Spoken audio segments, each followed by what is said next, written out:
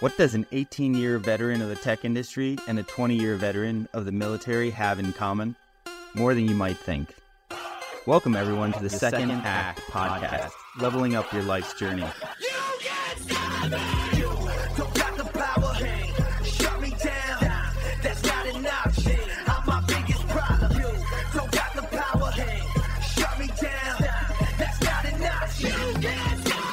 Welcome back to the Second Act podcast with Michael and John. How you doing today, John?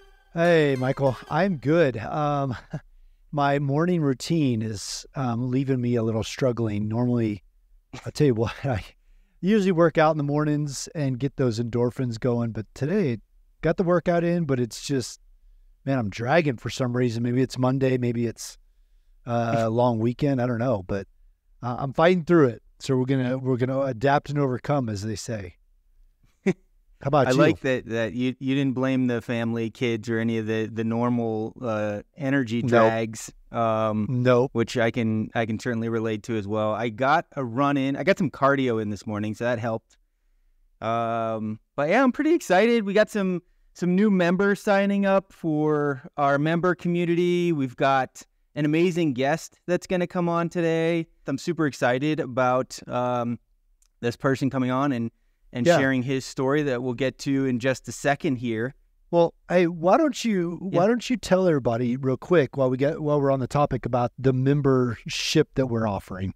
Yeah. So um, John and I put our, our heart and soul into this hobby slash business that we have going on here. And we get to meet some really incredible people and build connection through the process of learning their life journey, uh, the ups and downs of all of that to share with uh, the world, really. Anybody who Yeah. has an interest in, um, you know, ordinary people really doing extraordinary things with their lives. They've had some event in their life where uh, it's caused them to have a paradigm shift in how they think about the world, how they think about they go about their day, what success means, all of that good stuff, um, and to you know keep what we're doing um, going and expanding in the ways that we hope will have lasting effects uh, here and around the world. We do have listeners around the world.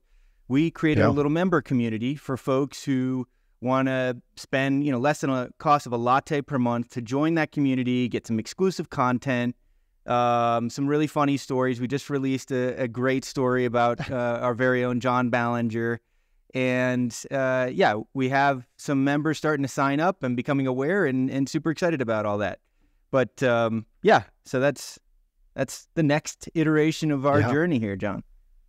Uh, you know, it's exciting to you know hear you talking about that because a year ago when we conceptualized coming together and starting a podcast, we didn't even imagine, um, you know, 30, 40, 50 episodes into it. We didn't even imagine uh, a community that it now exists, and it's all just coming along day after day, and it's it's so much fun to see how putting one foot forward one in front of the other creates Yep.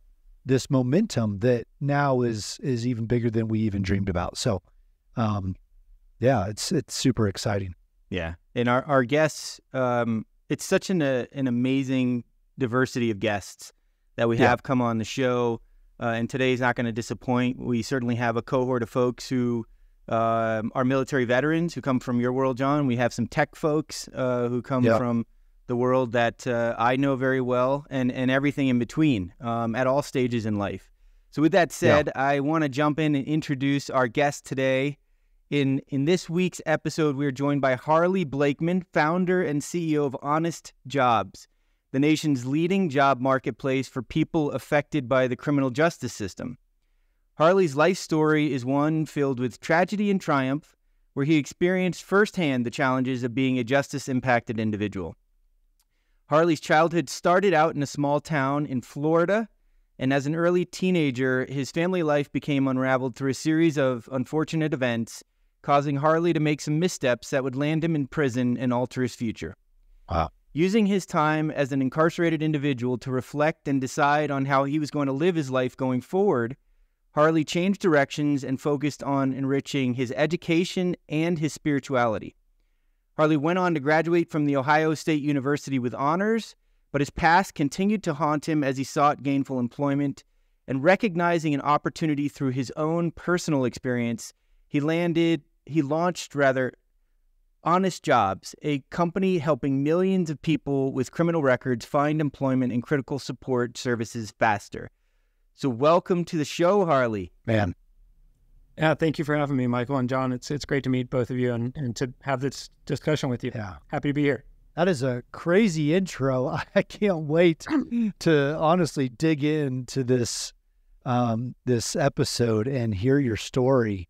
And Harley, um, you know, we get a lot of, like Michael said before, we get a lot of interesting backgrounds, but I think yours um, truly kind of catches my attention right off the bat. So, if we can, man, let's go back to the beginning.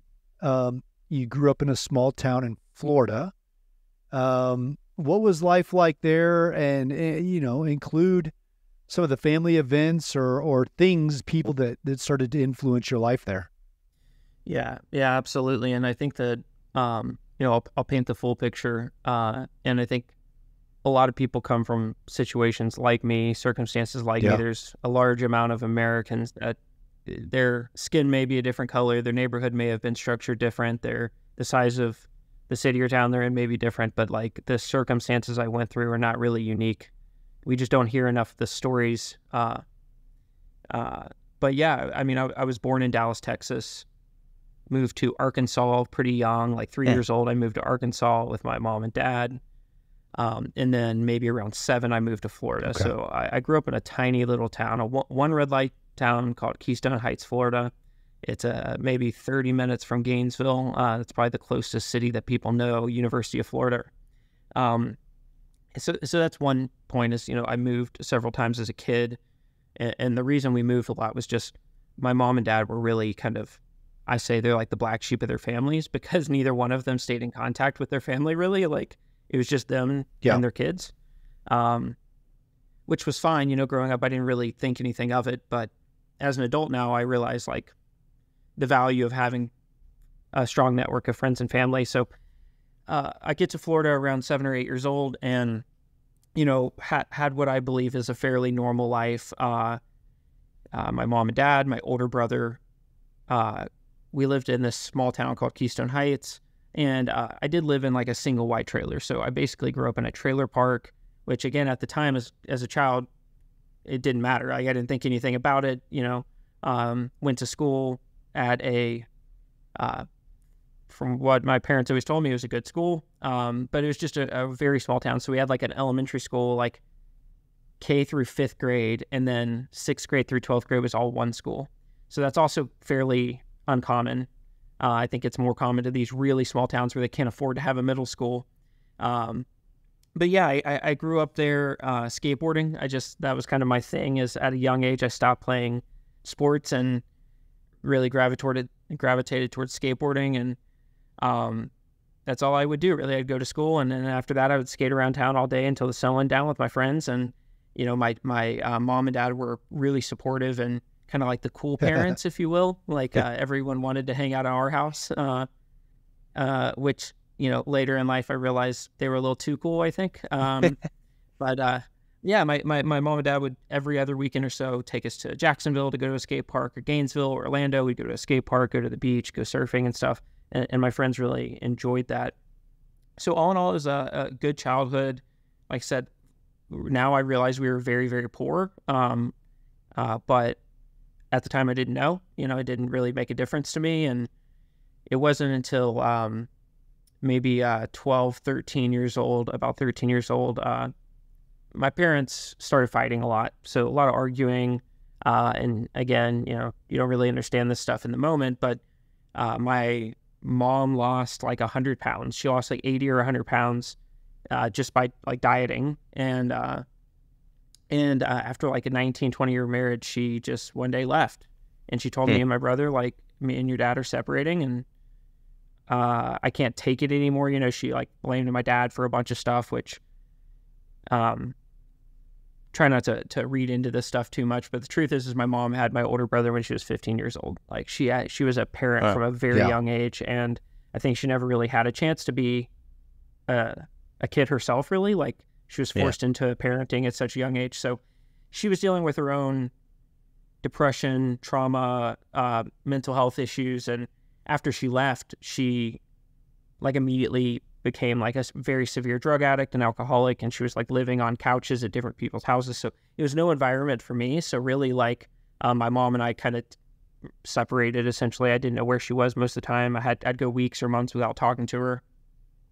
So so that was really hard. I mean, I still uh, struggle a little bit and talk to my therapist about like I- consciously know that none of this was my fault, but like subconsciously, as a kid, you're still like, why would my mom leave when I was 13? Like, what did I do to cause her to leave? So that was really hard on me. And then, um, so as me and my older brother living with my dad, it was hard on my older brother too, because my older brother's dad abandoned him when he was like three. So now Wow. my older brother grew up without his dad. Yeah. And then when he turned 18, his mom left and he has some, some like kind of trauma from that as well, even though, you know, he was 18. But yeah, it was uh, about a year, year and a half after my mom left. Uh, I was in like math class. Principal pulls me out of the classroom and says, uh, my, my, my brother has come to the school to get me and uh, my brother like takes walks me out of the out of the building and was like our, our dad got in a motorcycle accident uh, he used to drive a harley to work like once or twice a week on a, on sunny days or whatever. And he, my brother said it's really really bad. We got to go to the hospital. So my my uh, older brother and i drive to the hospital and when we get there the first thing they do is they pull us into a little room and they say your dad's not going to make it. We need you to if you want to say goodbye to him he's through this door. You can go in and say goodbye to him. Jeez. How, how old Uh, are you, Harley, at this time? At that time i was Wow. 15 15.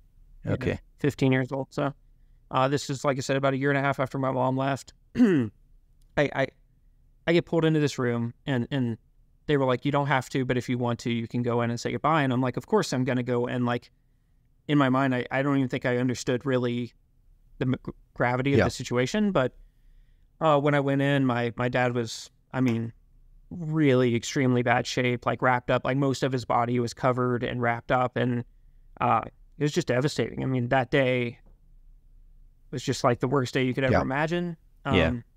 yeah i mean i uh, said goodbye and basically that was the first day of homelessness for me because i uh, over the next week or two i went through the motions that i like had to go through from external people saying okay well this is how this is going to work and these are all the things but you know two weeks later i was just sleeping on couches and didn't really have a home and had kind of slipped through the cracks and i'm happy to dive into how that all happened um, Man. but yeah so these are like some of the uh, the challenges that kind of initially got me ultimately to prison but uh Yeah. I, at at that point i was still very much like an innocent kid that you know had done nothing wrong just really dealt a really bad hand in a short period of time Yeah, I'm just thinking back to when I was 15 years old, Harley, and I just can't imagine uh, a circumstance like that. Um, it's uh, you know, our a lot of the things we do in life are are influenced by our experiences in life. Yeah. Um, and I know you know all of those events uh, led you to make some decisions that, in hindsight, weren't the best ones, but you you were able to persevere. So, as things start to unravel, you you find yourself making a series of choices that that get you into into prison as a, as an incarcerated individual. So, share your perspective at that time and how it led you to change direction with your life. Yeah, I think um, uh, I felt pretty ho- like helpless and hopeless because I didn't really have um, like a relative to go to to like grieve with and to kind of support me and talk me through how everything's going to be okay. It, it really was um, challenging for me because my mom had already kind of broke my trust and, and lost my trust. Um, and she was battling with her own challenges. So she actually like came to the she came to the funeral, right? And I had some distant relatives that came in for the funeral, which was like my mom's my dad's mom and his sisters.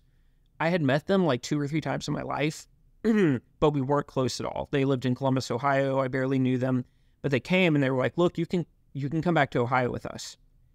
And unfortunately, um, you know, I'm a kid, so maybe at the time I was like, oh, I don't want to leave my friends. I don't really know, but I was 15 years old. I, I can't remember the exact conversation, but I remember my mom saying, he can stay here with me. Like, I'll take care of him. I'll make sure everything's okay. And, um, you know, I think I wanted that to be true. You know, I wanted yeah. to think that like I could be with my mom, but yeah. it wasn't.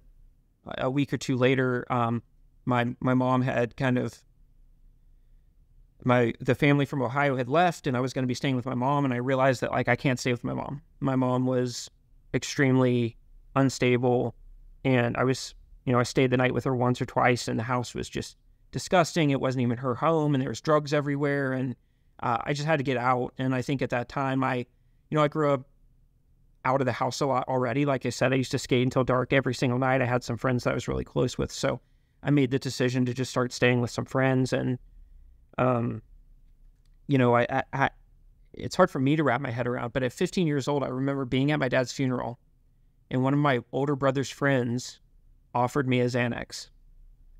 And I, I don't think it was, I, I don't think that was the first time I ever took drugs, but it was close to. If it wasn't the first time, it was close to it.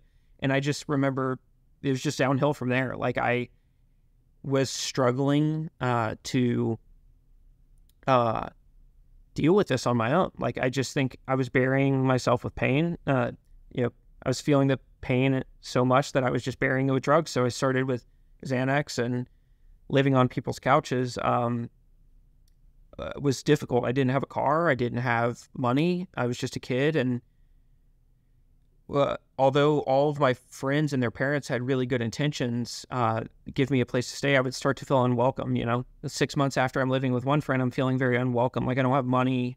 Yeah. I, I can tell that this is a burden.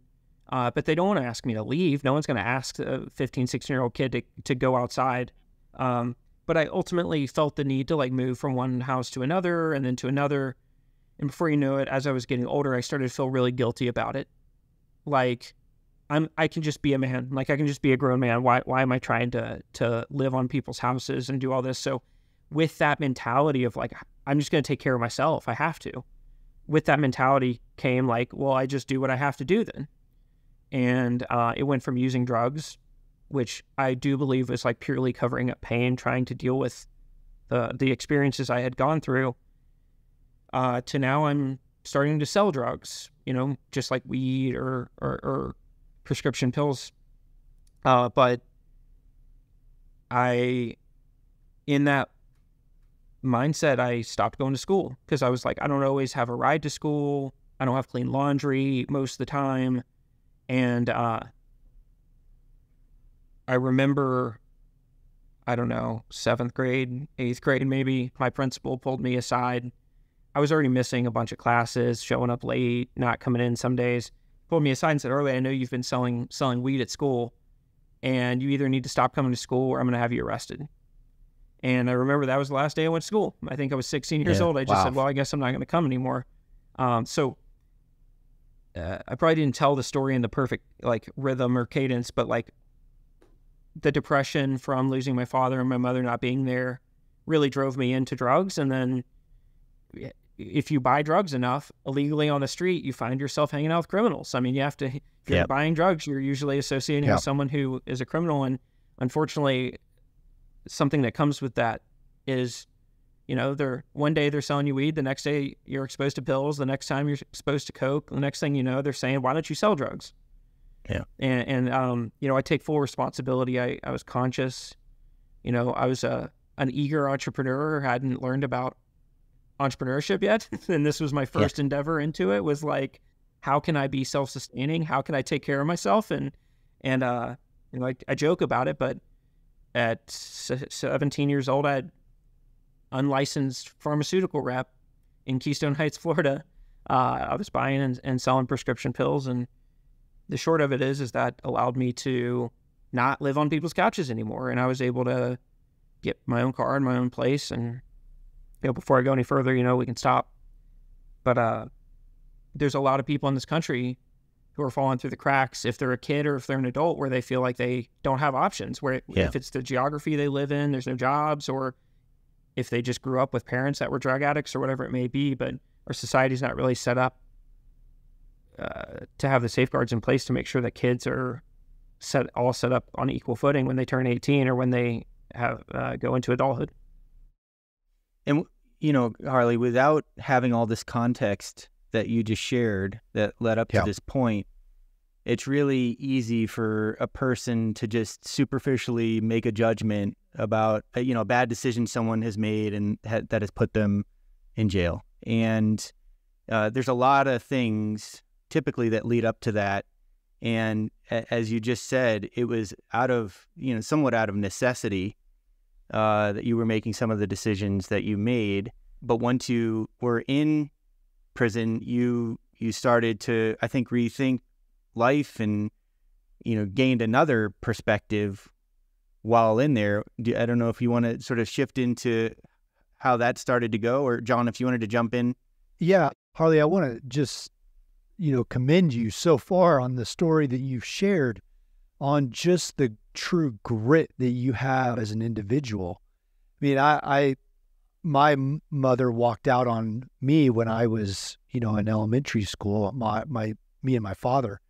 I was an only child, but she walked out and left us alone, and that was in itself, um, a, a really tough situation. But I don't think people realize the gravity that a 15 year old could have on themselves with Yeah. no direction. I mean, you're you're literally like a boat sitting in a in a ocean, waves crashing, no sail, no rudder, Yeah. and you're just trying to navigate. You may see, you know, the lighthouse off in the distance, but you have no way of getting there. And and just as you're experiencing and and you're communicating this experience with us, I just feel this this sense of loss uh, for you, and it's no wonder that all these external forces that are sta- are are now starting to, uh, you know, affect you, are having such a big impact. And people might, you know, to Michael's point, they say, well, you know, obviously this is what's going to happen, but if they take a second and put themselves in your shoes or in the shoes of a 15 year old child without direction, without mentorship, without, you know, coaches, without family to really guide and steer them, you're Yeah. going Yep. to be directionless. And so, you know, first of all, you know, to be sitting here and having a conversation with you after so many years and and you you obviously navigated your way out of it, man, congratulations on that. But um, I just want to say your story so far has been completely compelling for for me and and the people that I'm around to just make sure that there's influence And in people's lives and just taking that time to really reach out and and lend a helping hand where you can. So, man, Yeah. I, I just wanted to say that before we continue. Yeah, and I think it's it's so easy for people to just like uh, Michael was saying is, you know, you, you the truth is is you always have another option. You don't have to commit a crime, but we don't realize how many options we have in our lives Sure. right. until you're limited to so few, right? It's like we all have options, and I probably had other options, but did I have many options and did I have any good options? Probably not. I probably had no good options and very few options at that. And, you know, one of the things I people always ask me, like, why, what changed? Like, what, you know, we'll talk about it more later, but I didn't feel like it mattered. I was like, what what's the, like what am I who am I trying to impress? Who am I trying to create this great life for? There, there's literally no purpose in my life at all. Like nothing matters. You Interesting. know? uh, that's kind of how I felt at the time. It wasn't like I've never been a, a, a bad person, I've never been a violent person, never wanted to hurt anybody, but I was always like, I don't care about me. What does it Yeah. even matter? You know, so that's a that's a really uh, tough place to be, like you were saying, especially Yeah. at such a young age. So, you know, uh, fast forward, let's just say a couple months. You know, 16 now, I am selling drugs, and I- I've officially dropped out of high school. So now I'm a high school dropout. And what do you do with your days when you live in a tiny town? Uh, there's nothing going on. There's virtually no jobs. Um, I started hanging out with other people who were sitting around doing nothing during the day. So, uh, you know, I, I, I share this story that, you know, I, I knew several drug dealers who played Xbox all day and just hung out at home and, you know, people would come by their house six, ten times a day to buy something, and that was their job. So I'd hang out there, and a, surprisingly, a couple of them in their 30s and 40s would be like, just give me free meals and give me a place to hang out and crash. And um, eventually, you know, more than one of them offered to say, well, here, I can just give you free, like not give for free, but like front you. They call it fronting you something. They'll like give you a half pound of weed and say, sell it and pay me back. Make yourself some money. And, and uh, ultimately, by the time I was 17, that was a registered nurse that I knew who was buying illegally, you know, hundreds of Oxycontin, thousands of Oxycontin for pennies on the dollar. Wow. And she would just give me 10, 20, 30, 50 of them and say, sell them for this much and give me half of what you make. And um, wow. it was unfortunately a, a, a, trap that I, you know, fell into. I think at the time I saw her as almost like a mother figure because she was a friend to me and she was offering food and shelter and help, you know, now I know, okay, she wasn't really helping me, but at the time I thought she was helping me by offering to help me make some money. And um, I did that for, for quite a while, not making money in any real way, but making enough money to like feed myself and have gas money if I needed a ride somewhere and, and, and things like that. Um, but uh, just to give context for, for like my mom, throughout this period of 15, 16, 17, my mom was still in the same town um, so there were times where I had nowhere to stay. And, and I remember vividly one time going to where she was and knocking on the door. It was like 1130 at night. I had to walk like two miles down some dirt country road to get to the house she was at and knocking on the door and asking if I could just sleep uh, on the couch. And she told me no. She was like, you can't come in. You can't come in. And I just remember Jeez. like how devastating that has been. Like that's like one of the few things I remember deeply from my childhood is like, yeah. Um, it wasn't just that I chose to go somewhere else. It was like there was points where I literally had nowhere to go. So these things kind of chipped away at my soul a little bit to where I was like, I really don't care at all anymore. Yeah. And like, it's just me. Like, it's just me against the world. Like, I'm out here trying to survive. And uh, this woman who would front me the prescription pills, I was so small time because it was such a small town. Like, I could never make a lot of money, but a friend of mine that I grew up skateboarding with had moved to Savannah, Georgia, and he invited me. He was like, "Hey, you should come up and hang out. Uh, like I've got a real nice apartment here. You could stay with me for a week or two if you wanted." And I thought I should do this. I'll kind of get a, escape for a little bit and go hang out with some friends. So I did that. And while I was there, I showed him, "Hey, look, like I have these pills. Like I can get I can get these pills." And he's like, "Oh, I don't do those. I don't I don't do stuff like that, but I do know that they sell for a lot of money here." And he kind of explained to me that, you know, I was selling them for like $15 a pill, but in Savannah, Georgia, they were worth $25 a pill. And he was like, I know a bunch of people here that will buy those. And a short conversation led to him saying, Hey, I know a guy that would probably buy all of those from you. and he called the guy and I sold him like, it was like 10 or 15 of them.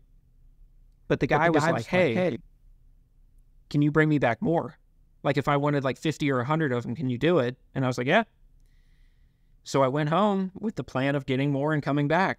And uh, the following week, that's what I did is I got a hundred of them and I drove them back up. And, you know, I was getting them for like $8 a piece and selling them for $25. And, and, you know, a hundred of them, I, quick math, I made a couple hundred bucks uh, very quickly, maybe a th- couple thousand. And it just turned into a routine. I was like, I have this one guy that I sell these pills to once a week, and I before I knew it, I was bringing up three, four, five hundred of them at a wow. time, and my life changed very quickly. Like I wasn't happier or healthier. I was still dealing with all the depression, but now I had the money to buy myself a car, to get an apartment, and to completely drown myself in drugs because, like I said, the pain didn't go away, the addiction didn't go away. I yeah. just had money now, and I uh, I didn't have the guilt of having to stay on someone else's couch. Um, so that's really where like the full evolution of me like becoming a drug dealer was I just had an opportunity to fall in my lap to make a lot of money really easily. And I was doing that. And I did that probably for about six, seven months before I turned 18. And uh, um, I was in, I was in an extremely dark place. Like I don't want to make it sound like it was a good life. Yeah. It wasn't. I yeah. just had a money and no bills. So I was I was thinking like I'm on top of the world or something. But um, it was shortly after my 18th birthday in Savannah, Georgia. I'm sitting at a red light at like 9 a.m. I just driven up super early to take this person a bunch of pills. And uh, I got set up by the Chatham County narcotics team. So I'm just sitting at a red light, like seven cop cars surround my car out of nowhere. They all come out of nowhere. And I, obviously, I know I'm like, okay, this is definitely for me. And I, they run up to the, to my window with their gun drawn, pointing their gun at me, telling me to put my hands out the window. And I do, and slam me on the ground and put their knee on the back of my neck. And my mugshot, I even have scratches all on my forehead from the concrete. And uh, Ah. the the mugshot is you gotta you gotta look it up and share the show notes or something. I mean, I look like I'm like nine years old, ten years old maybe, but I'm I'm actually 18. But they put me in the back of this cop car and they come over to the cop car and they say, "Do we have permission to search the vehicle?" And I don't know. I for for some reason the car was in my mom's name. I, I think it's because when my dad passed away, he left. Um, uh, there was a little bit of life insurance money, and I was able to use the money to buy the car, but it had to be in my mom's name because I wasn't old enough. So, anyways, I tell the cops I can't let you search it because it's not my car. My my name isn't on the car. I can't let you search it. And they're like, oh okay. So they shut the door and then they just go like, pop the trunk and start digging through my car. Like they didn't they didn't care. It it, it didn't work.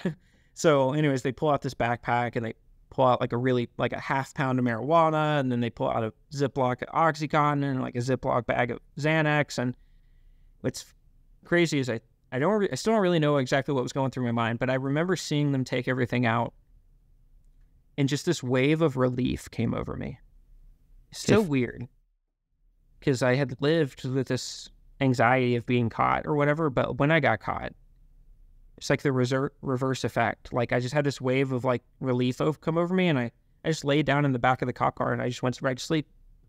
I don't know why. I just uh, it's like I could finally rest, like knowing that it was like over or something, which is stupid because I that part was over and now I had this new Yeah. thing that was about to start that I was going to have to deal with. But yeah, I mean that that's the evolution of it and my short time as a as a drug dealer for for like a year, year and a half there. Hi, everybody. I'm Katey Sagal, And I'm Kurt Sutter. and welcome to our new podcast called Pi People, Influences, and Experiences. Yes, it's sort of the uh, get to know you at a deeper level, the who, what, when, where, and why you are, rather than what it is you do. Absolutely. We're not going to talk too much about what people do. We just want to know about their families, where they come from, you know, what shapes their parenting if they have kids, what shapes their marriages if they're married. We just want to be really nosy. We want to get in there. A deep dive into nature and nurture. And we started it because there are a lot of people that we don't know that we are curious about. Right. And I have no friends, so for me, it's, you know, it's Trying like, to get them out of the house. listen to it on whatever you listen to podcasts on. Yeah, podcast, your, homecasts. your, your, your podcasting apparatus. Watch it on the YouTube. He's aging himself.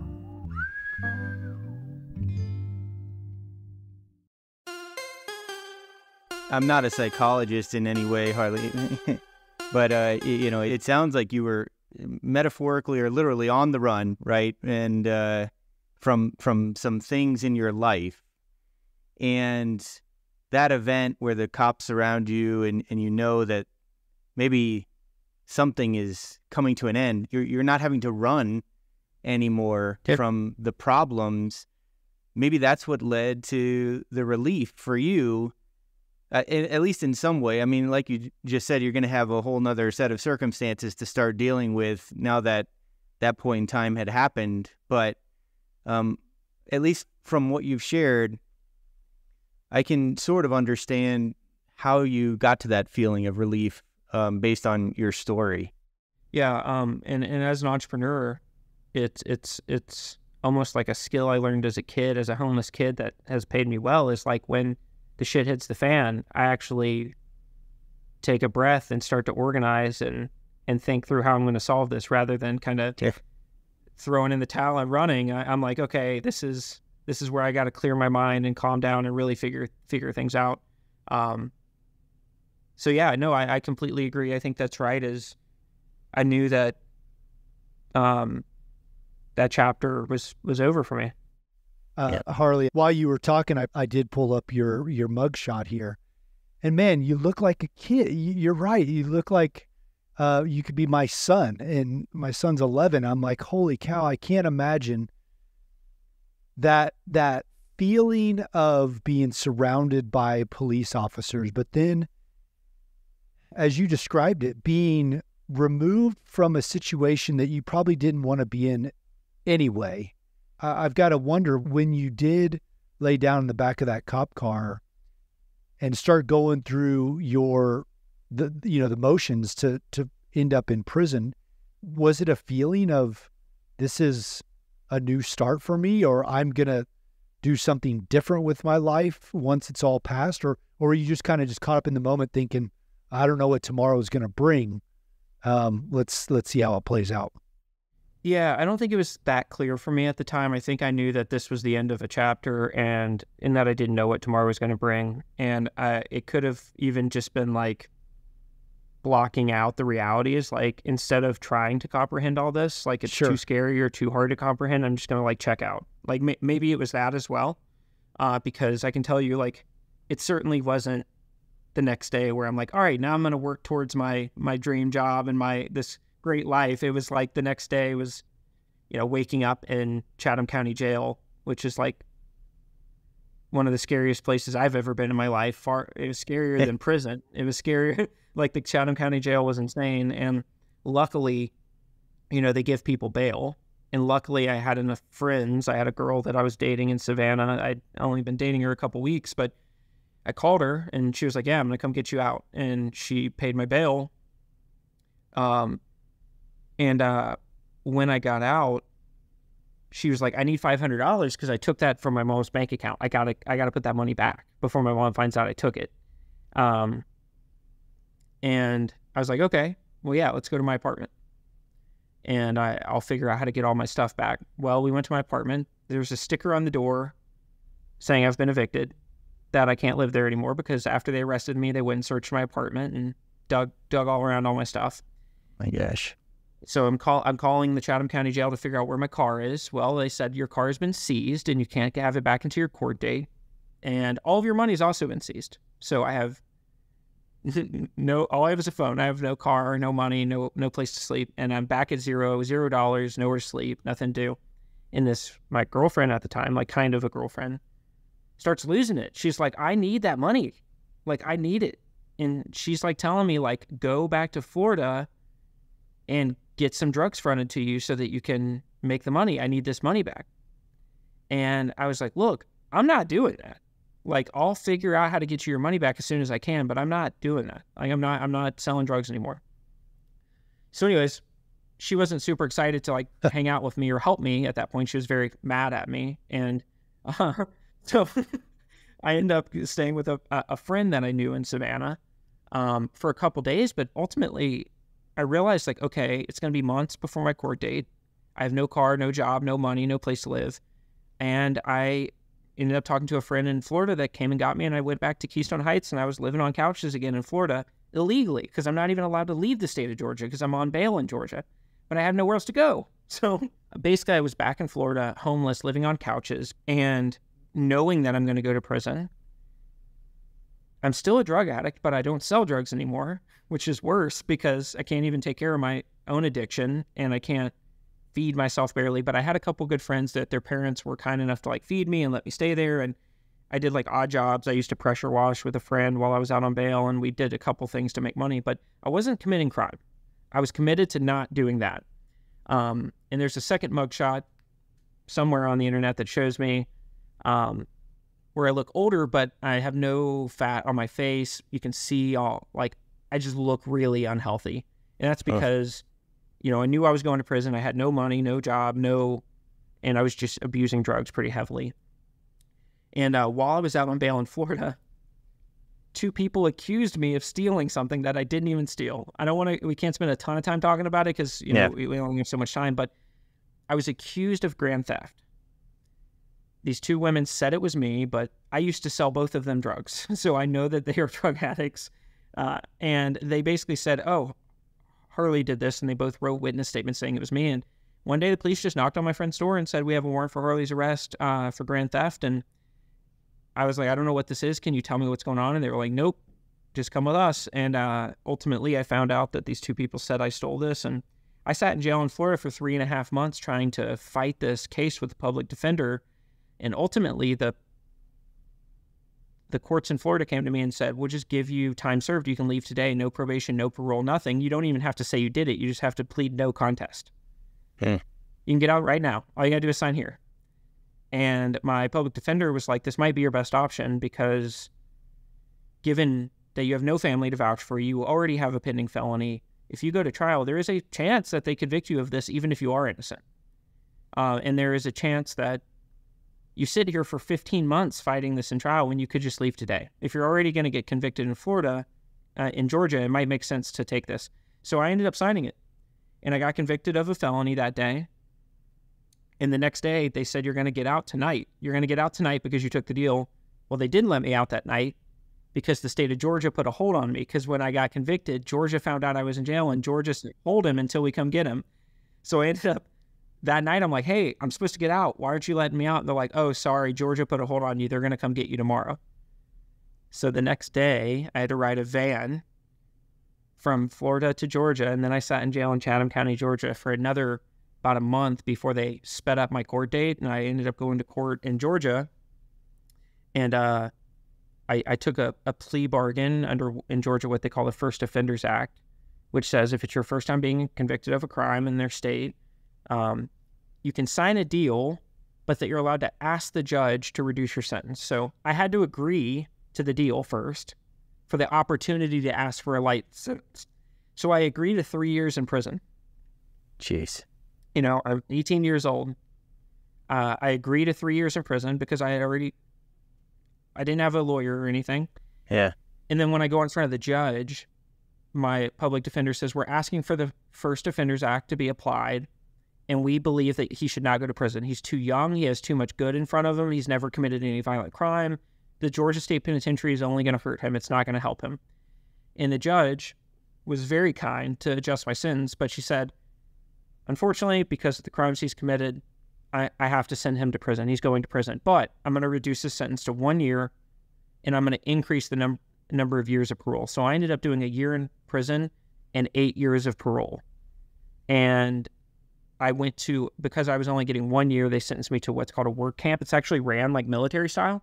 Yeah. So there's like a sergeant that like comes in and you have to stand out attention. You have to march everywhere you go. Oh wow! But it is prison. It was primarily gang members, and it was violence almost every day. Uh, uh, it was not a good place to turn your life around in any way. But it was significantly safer and significantly better than the Georgia State prisons, where there's literally no law, order, nothing. It's just chaos uh, there, if you misbehaved enough, they would tell you, they would send you to the state prison. So there was like this stick hanging over everybody's head, like we're going to behave enough to not get sent to the Georgia State prison. Um, but for the most part, I mean, it, it, was really rough. There was no college courses, there was no classes, there was GED and church, and that was it. And I passed the GED like immediately, like the first month I was there. So I was basically sitting in a cell, you know, for a year, and I got out one hour a week for church, basically. Okay. Harley, I, I know there's many people in the world, including John and me, who have had moments where we've felt stuck. But it's, I mean, it's comparing it to your experience where it's not like a day or a week or even a month of feeling stuck. You know, you're talking years of your life here uh, with a number of circumstances that led up to all of these events, and you know you you sort of find yourself while serving time. Um, you got your GED, which is which was great, and then also finding faith in something, um, which I imagine is also continued to play a, a, role in your life and your decisions going forward. So, walk us through sort of the the end of that experience and then what that started to lead to for you. Yeah, so when I was incarcerated in in Chatham, in jail in Florida, jail in Chatham County, which is like Savannah, Georgia, and then prison about an hour north of of Savannah towards Atlanta. All of these times, I had no visitors. I my mom didn't see me, my brother didn't see me, my brother didn't write me, my brother didn't call me, my mom didn't call me or write me And I just really, you know, what do you do? You know, I'm in the scariest situation that I could ever imagine and completely alone. And, um, you know, you're, you're, you're taught not to build like um, vulnerable connections with people in prison. It's dangerous. Like you literally should not trust these people around you because you don't know. Some of them are great people, yep. but you can't risk. You have to just assume that you can't. So I'm kind of like in in a shell and I have a Bible and you know, I didn't grow up going to church, but I, I read the Bible in prison and after you know a, a, while around all these guys you start to see there are some people who read the bible regularly they go to church that you can just tell they're the chances are low that they aren't good people. So I ended up connecting with a couple guys in jail and prison that really just told me, like, look, you're in a really, really bad situation, but that God has a plan for you and that if you invest in this and read this and and, and live by it, like you're gonna be okay. Like you you really are. Like this is all you need in this moment is is this book and you know there's other people in here who believe in this as well and none of us are none of these people are gonna hurt you. And um, you know, I'm not. I'm still not super religious. You know, I, I I've had ups and downs and flows where I went years without going to church or reading the Bible. Um, but it definitely played a role in me getting through it because um, it did on nights when I was uh, like felt the most alone and the most scared. It brought me comfort, and I do believe that um, there's benefit to the soul. Like your soul benefits when you know you're not alone. So, uh, if nothing else, that's what I took from it. And you know, I go to church now, and I and I love being a part of it. But um, I was so alone in that that uh, book helped me not feel so alone. And uh, there was uh, times where uh, I would have done anything to get out, and I couldn't. So what do you do? You know, you you you uh, find ways to adapt and to get through it, and and and that's what I did. Um, it's interesting to be discussing loneliness in this part of your life um, because there's what's not talked about often enough, in my opinion, is the loneliness that comes with being an entrepreneur. And it's amazing some of the lessons you learned, however you learn them. Um, and then the things that you find to help support you through that process um, to get you to where you want to go. And, and, you know, the silver lining of all of it is you, you found faith, you ha- learned how to deal with loneliness, which has probably in some strange way helped you um, become successful in, in what you're doing now. And I don't want to leave out the important part that after you you got out of um, of prison, you went on to the Ohio State University with honors. So congratulations on that.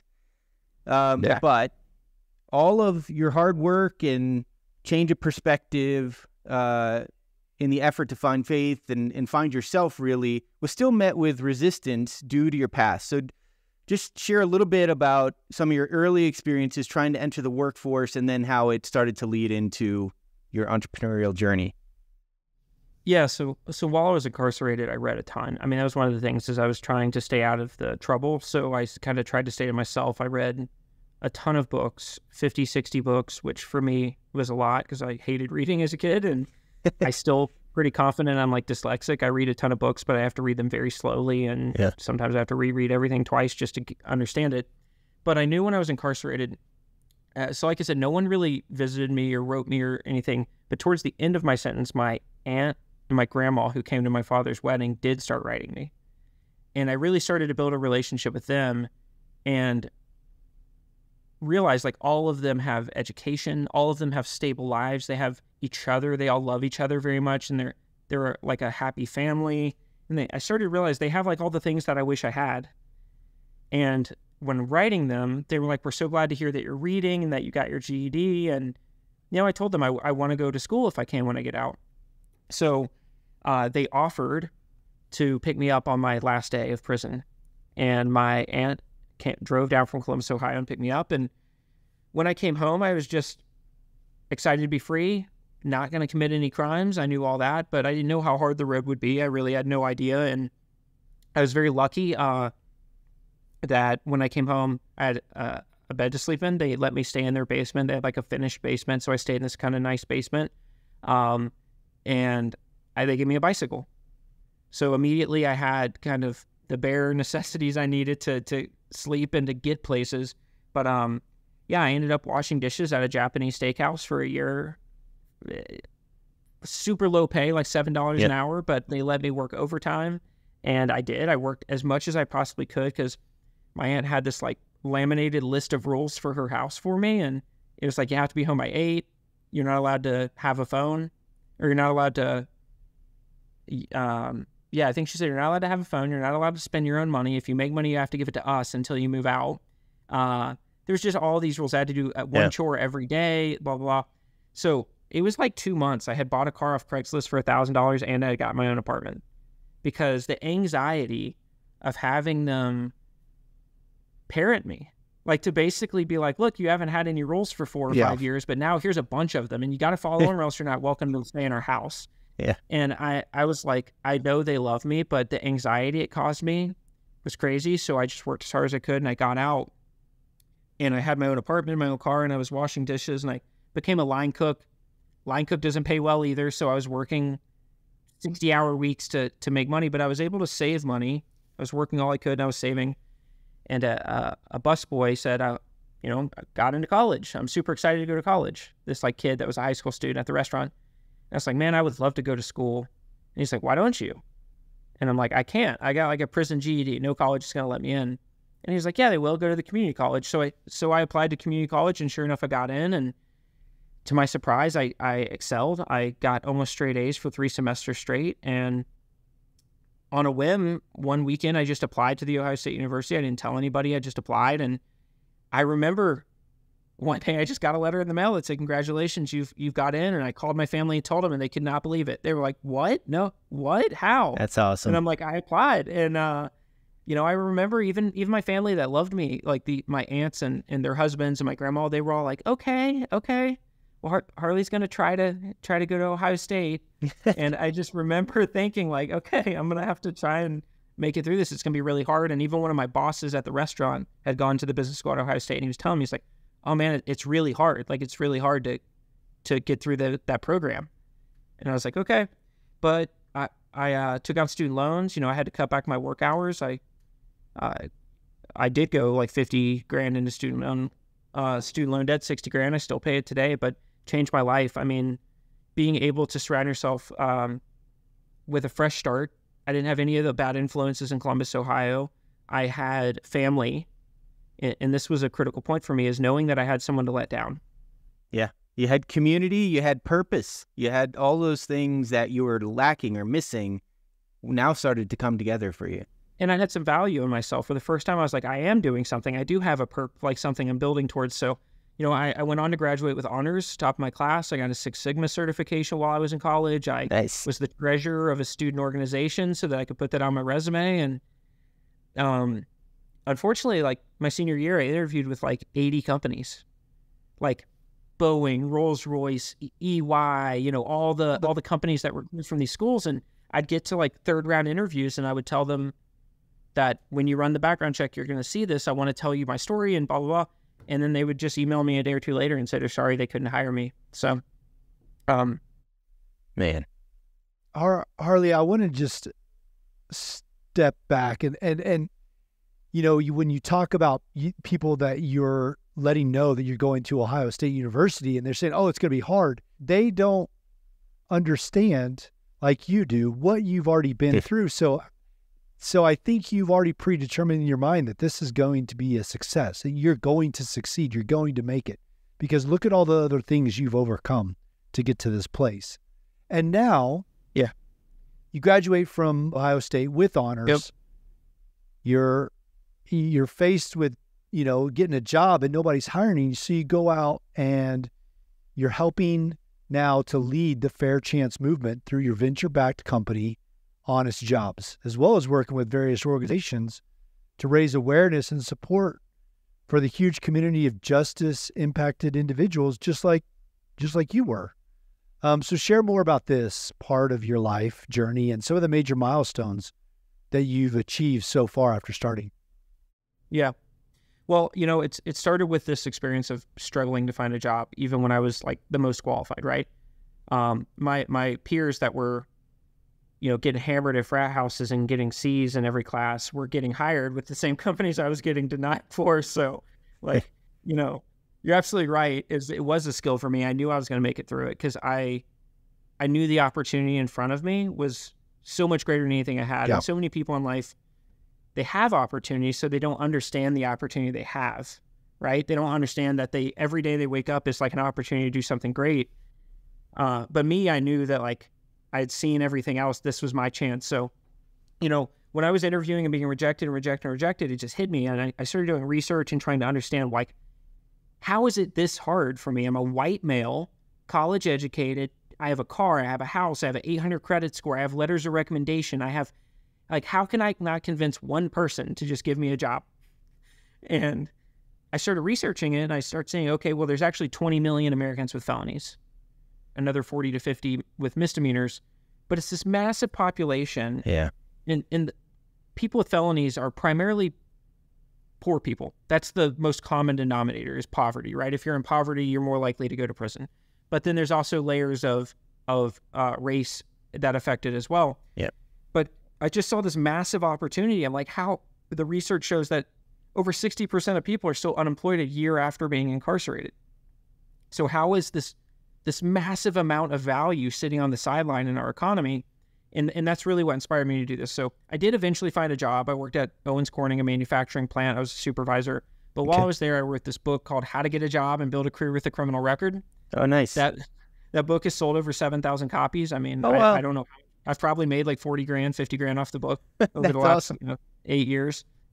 And that got me speaking engagements, and I started volunteering at prisons, and that really is where I was like, I have to lean into this and find a way to work in this space. And for me, it was all for-profit entrepreneurship. I have to find a way to create like a social enterprise where I can address this problem, but I don't want to be a fundraiser. I don't want to beg people for free money. And ultimately, I, I created a community just like your membership at a YouTube channel, and I had about 30 people paying seven bucks a month. And I surveyed those 30 people and I said, Hey, how can I best help you? And everyone Yep. needed help finding a job. So I created like six little micro courses where I was teaching them how to write a resume, how to interview, how to explain your criminal record. And ultimately, I knew that that wasn't going to scale to help 50 million people. I needed to create something that was more marketable, uh, more sustainable, especially if I was going to look for venture capital, right? Mhm. So um, I got really lucky, and I'll, I'll try and be brief here, but I was at a bar drinking a beer, and the guy next to me and I started talking.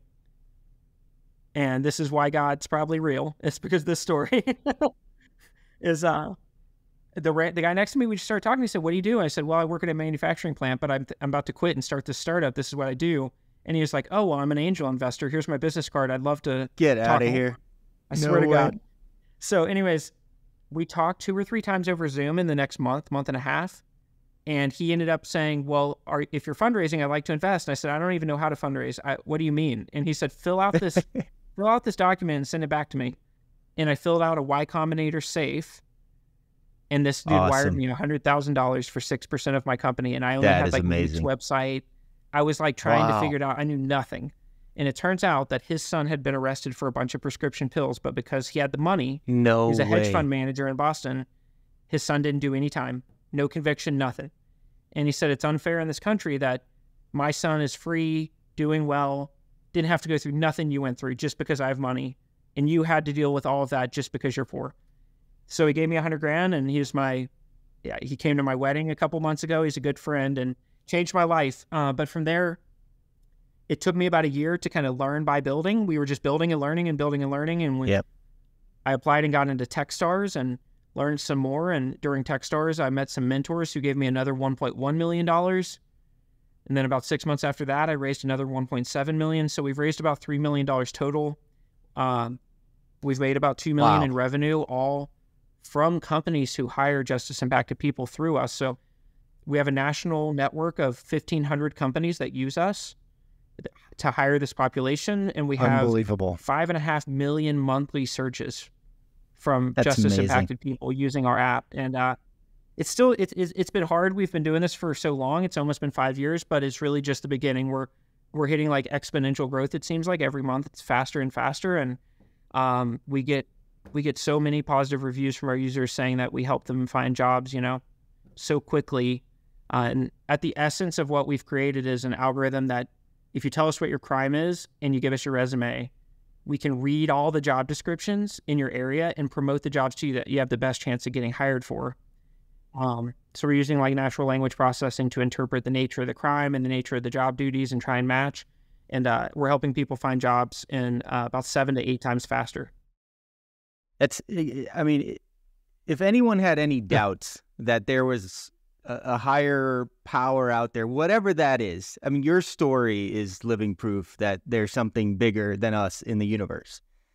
And it's amazing what you've been able to do in, in a rather short time uh, for this community of people, Harley. And I know that employment and education are two of the biggest factors that impact the recidivism rates of people who have been justice impacted. So, congratulations on all the success up to this point, and I know it's going to continue. Um, what we like to do uh, before we sign off is just for if you want to leave our audience with one or two pieces of advice and we'll leave all of your um, contact information and website information in our show notes. If you want to leave them with uh, a couple of things to take away, practical advice for them to think about if they're starting something new, contemplating starting something new, or you know are going through something tough, what would that be? Yeah, I think um, you hear you, you probably hear this a lot, but get started.